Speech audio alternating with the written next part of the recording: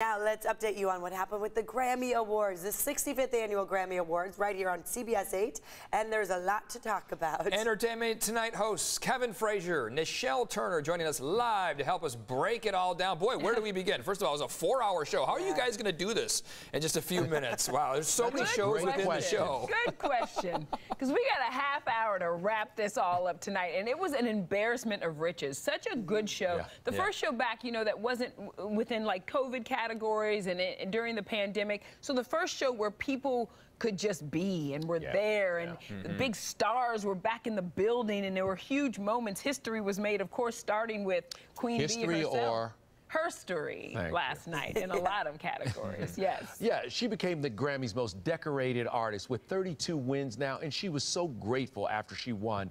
Here's the Queen. breaking the record for the most Grammy wins of all time. It's Renaissance, Beyonce. Thank you so much. I'm trying not to be too emotional. I'd like to thank my beautiful husband, my beautiful three children. God bless you. Thank you so much. Hmm. Now, a little bit of controversy here because Beyonce has won now 32 Grammys, but just one of them has come in one of the four major categories. That has the beehive buzzing. I think a lot of folks thought that she would win one of those categories, mm. especially Album of the Year. Yeah, I think so too. I mean, she released like two new remixes to Cuff It on the, you know, the day of the Grammys. This this record was a dance record, but it was also about female empowerment in so many ways. So widely received, well received, critically acclaimed, and I think that this was a moment for her, and it was a, a missed moment for the Grammys to to recognize that. And no disrespect to Harry Styles. no, we love Harry. I was going to say, We love him. Yes, absolutely. I was Great album. dancing when he was on stage. Yeah. I was. he was having a No, good time it's there. not the same as show. it was.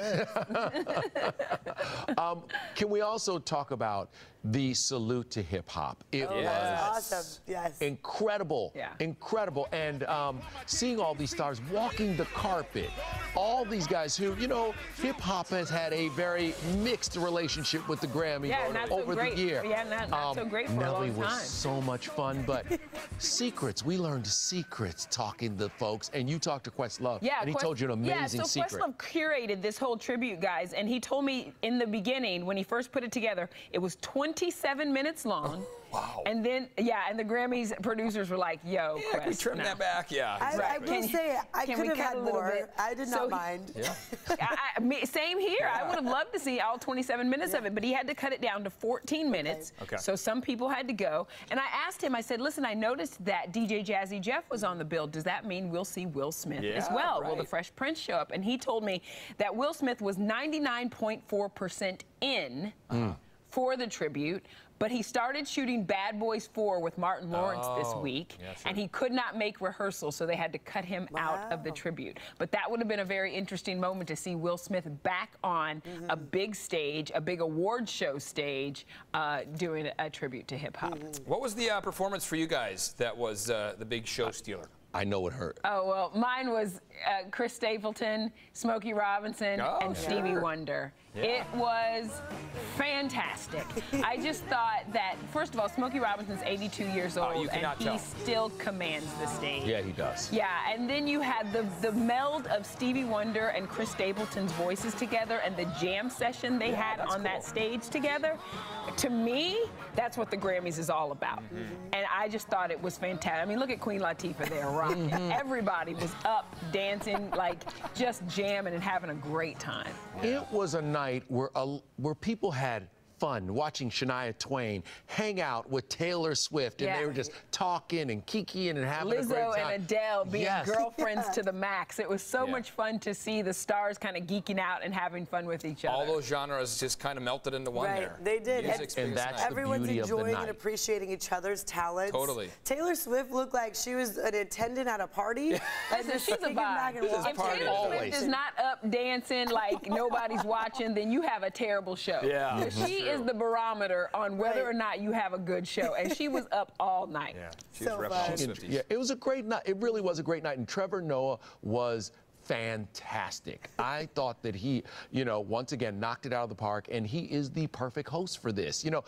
I, I have to say, the Grammys have done a great job of finding great Yeah. hosts from LL to James Corden and now Trevor Noah. I- They haven't missed a beat. Absolutely, and I thought the lineup was really great. They had Bad Bunny opening the show. Yeah. And he is, I mean, come on, Electric. it's Bad Ooh. Bunny. That's all you have to say. Right. And then they had uh, God Did closing the show. So they had Jay Z and DJ Khaled and Yeah. Rick Ross and Lil Wayne closing the show.